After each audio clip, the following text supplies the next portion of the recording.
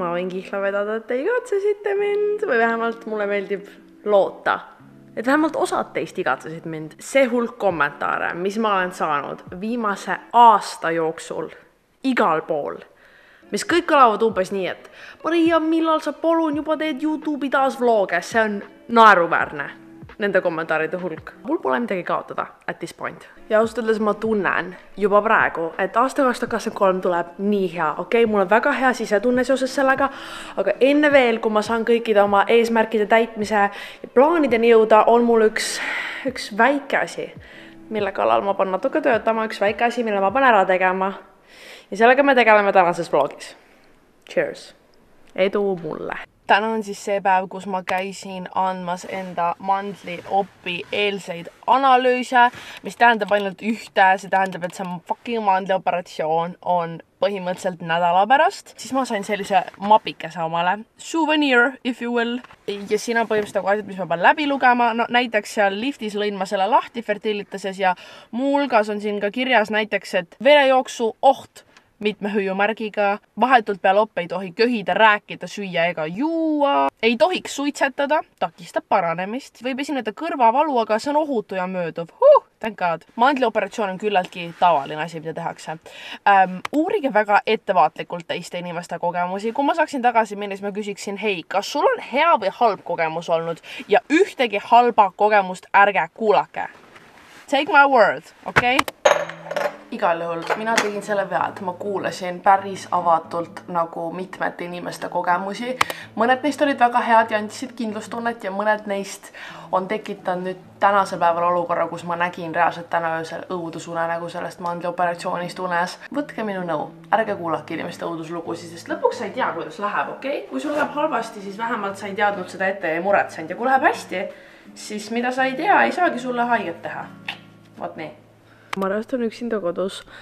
Crying on the couch. täna on täpselt päev enne mu mandlioperatsiooni. ma täitsin täna hommikul neid pabereid, mis sa pead täitma ja seal oli kirjas see nagu, et on mingi üli-üli-üli-üli väike võimalus, et sa nagu siis, kui sa sind narkoosi pannakse, et sa põhimõtteliselt nagu oled tegelikult ärkvel ja ma olen see laps, kes väiksena vaatas fucking Shane Dawsoni videoid Anesthesia Awareness'ist ja ma olin mingi oh my fucking god, see tundub nagu kõige hirmsam asi maailmas. see on nii piinlik, ma pärast isegi ei julge kellelegi oma sõpradest fucking kirjutada, et mul nii hirmus on, sest sest mul on nii piinlik, kuna see peaks nii mingi easy värk olema ja kõik on mingi, et jaa, et see on nii mingi regulaarne op, seda tehakse kogu aeg, aga siis sa loed sealt kuradi operatsioonilehelt, et võib-olla sa oled ärkvel terve aeg kogemata ja ei saa liigutada ega öelda mitte midagi või või peale seda sul võib olla mingi, ma ei tea lähevad haavad katki ja sa pead neid mingi kõrvetama minema ja ma ei tea, mida nagu seal oli vast niisugune punkt, et kui kahtlete operatsiooni vajalikkuses, siis helistage.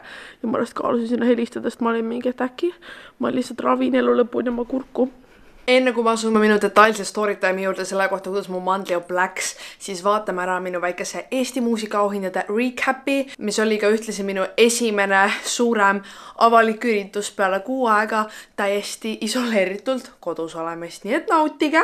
These days ma reaalselt ei käi enam päriselus shoppamas, mitte nagu väga-väga harva. täna ma tegin seda, täna ma tegin seda, sest äh, muusikaauhindade jaoks ma tundsin, et mul on vaja mingit värskendust oma kappi lisaks sellele outfit'ile. ma ostsin ka sellise toreda pruuni koti Saarast, seal olid soodukad ja palun öelge, et see ei ole kõige nunnum asi üldse. minu meelest pruun värv on täpselt sihuke, milles võivad aksessuaarid olla, sest see on sihuke väike lisaumf. lisaks sellele ma sain ka ametlikult oma ema kutse kätte. seekord me saime sellised kujukesed minu enda nimega. palun vaadake, kui nunnu! Thanks muusikaauhinnad, et te mind jälle kutsusite, sest see on nii exciting panna ennast riidesse ja, ja, ja ma olen nii excited.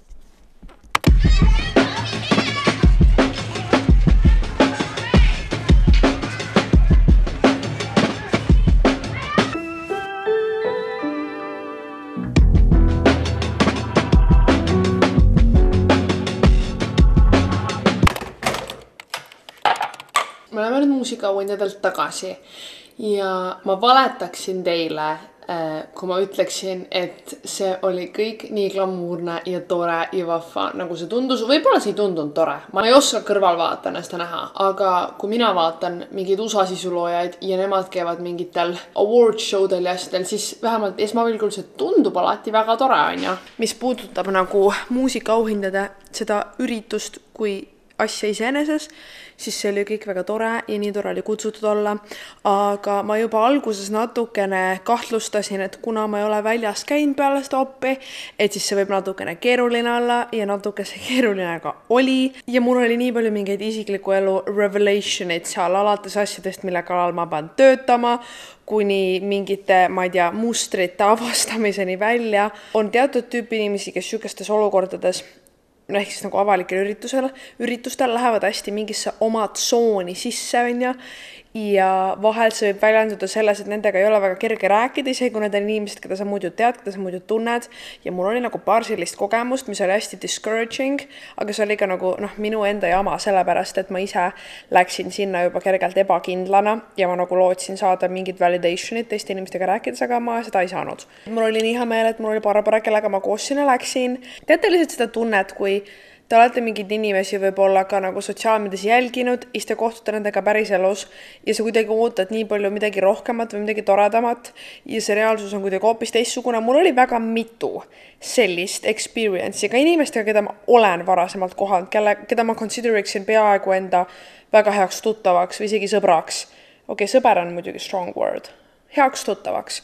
nii et see on nagu huvitav aga ma olen võtnud aega, et sellele mõelda, mul oli reaalselt maniakaalne korrastussessioon eile õhtul peale seda, noh, mitte siis peale seda galat, aga üks päev peale seda galat ja ma täna jätkan sellega. võib-olla mõnes tulevases loogis räägin teile rohkem minu korrastamise äh, hullusest, mis mind on hoomanud viimasel ajal. aga praegu äh, annan ma sõna taas ähm, Mariale, kes enne hakkas rääkima mandliopi kogemusest, nii et kõiki, keda see teema nüüd kotib, siis äh, siit tuleb minu detailne story time. ma lasin teile Instagramis küsida küsimusi küsimusi ka selle kohta ja tuleb välja, et teil olid täiega detailsed küsimused. kui ma üldse teen selleteemalise video, siis tasub olla juba detailne. minul isiklikult olid lihtsalt kogu aeg mandlid paistes. käisin kogu aeg oma perearsti juures siis üks hetk ma ütlesin oma perearstile ka, et nagu hei, et mul on reaalselt kurk nii tihti haige ja siis ma läksin kõr-, nina, kõrva, kurguarsti juurde, kus nad siis tegid nagu täpsema ülevaatuse. seesama arst tegelikult oli see, kes mind lõpuks äh, ka opereeris ja tema ütleski, et nagu põhimõtteliselt lõpplahendus on sul need ära lõigata e eelnev äh, õhtu ma siis sõin oma kõhu räigelt äh, head kraami täis. järgmine hommik äh, mingi seitse kolmkümmend ma siis startisin sinna Viimsisse. kaheksa viisteist pidid seal kohal olema. olles nagu kogu selle asja läbi teinud, siis ma võin sada protsenti öelda, et see hirm oli nagu kordades, kordades, kordades suurem kui see reaalsus tegelikult oli. mind äh, põhimõtteliselt nagu check-in iti äh, ehk nad äh, mõõtsid mu vererõhku, küsisid üle mingid küsimused mu käest, tegid koroonatesti mulle ja siis mind viidi ühte palatisse, kui ma olin esimene, kes sinna palatisse saabus. ma sain endale sellise toreda hommikumantli ja väikse kleidikese, mis ma panin selga ja siis sa panid oma mingid asjad sinna kappi ja mulle kind of ei öeldud väga rohkem midagi, öeldi, et arst tuleb, oota. ja kuna ma ei teadnud, kaua seda ootamist oli, siis ma olin alguses oli segaduses, kas sa nagu lähed teki alla pikutama või sa nagu ootad mõned minutid. ja siis, kui kedagi ei tulnud, siis ma just otsustasin teki alla minna, kuna mul oli nii külm. ja, ja mingid sussikesed olid õnneks seal ka, aga ikkagi nagu närvidest oli nii ebamugav külm olla. ja kuna sinuga keegi ei saa sinna kaasa tulla, kui sa ei ole just alaealine, siis äh, nagu sa oled veel üksinda ka seal ja siis mul oli natuke sihuke, sihuke tunne. peale mind tulid veel nagu kaks naist sinna, siis me ootasime seal nagu päris kaua, ma pakuks, et äkki mingi tund aega, kuni siis tuli arst. mis mulle hullult meeldis, oli see, et ta andis nagu ülipõhjaliku briefing'u sellest, mis hakkab saama. ta seletaski põhimõtteliselt step by step, kuidas see välja näeb, aga et meil on tõenäoliselt veel mingi kaks tundi ootamist ehk mingi kolm-neli tundi me ootasime kokku äh, kogu seda protsessi ja see pakkus hästi-hästi palju turvatunnet mulle isiklikult siis mul oligi need kaks tundi parajaks teha ja lihtsalt pro tip, võta mingid kõrvaklapid või ma ei tea, raamat või midagi kaasa, sest seda ootamist on nii palju ja ainus asi, mida mina seal tahtsin, oli ennast distract ida.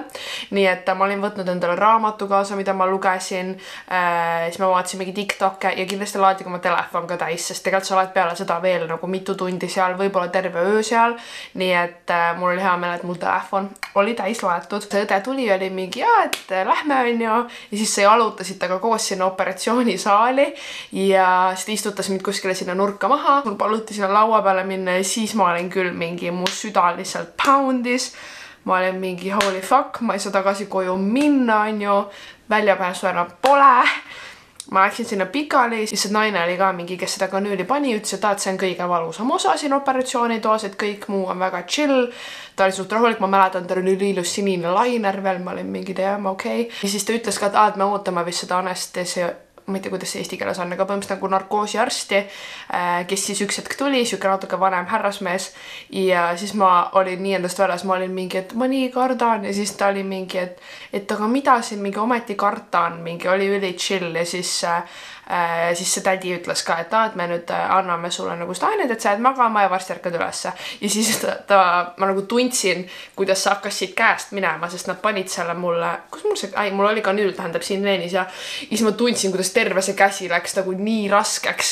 ja siis ma tundsin, kuidas see hakkas kõik siit levima, siis samal ajal mul pandi see mask ka pähe ja siis, siis ma ütlesingi umbes viimane hetk mingi, ma nii kardan ja siis see onu oli mingi, ei ole midagi. ja siis see tädi oli mingi head ööd ja siis ma mäletan, ma üritasin oma silmi kinni panna ja ennast ise uni uniseks teha, sest nagu ma rääkisin, see anesthesia awareness oli nii suur hirm mu jaoks, siis ma õnneks jäin nagu põhimõtteliselt sekundiga magama järgmine hetk ma mäletan, ma tegin oma silmad lahti ja ma olin külje peale pandud niimoodi paremale külje peale ja mul oli see mask ikka veel näos. mind oli hoiatatud, et ära neela peale seda ja ma lihtsalt tundsingi nagu ebamugavust kurgus, nagu lihtsalt ebamugav oli, ma ilmselgelt ju teadsin, et midagi on seal tehtud ja veremaitset oli suht palju kurgus ja ma ei suutnud, ma ei suutnud vastu panna, ma neelatasin esimese asjana, sest mul oli nagu nii suur mental block et ma ütlesin endale, et kui ma ei ürita neelatada, et siis ma lähen hulluks. ma tundsin, et ma väga pean sülitama, kuna mul oli mega palju sülge suus ja selle kõik pidi alguses ah,, seda rääkis ka see arst, et sa kõigepealt sülitad seda nii kaua välja, kuni sul ei ole enam seal verd sees.